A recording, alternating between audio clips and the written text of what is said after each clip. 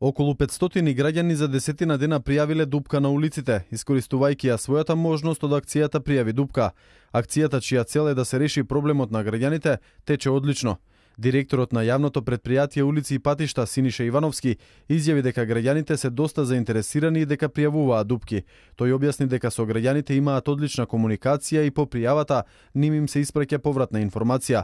Предпријатието по пријава за дупка која е во надлежност на град Скопје постапува најдоцна за два дена.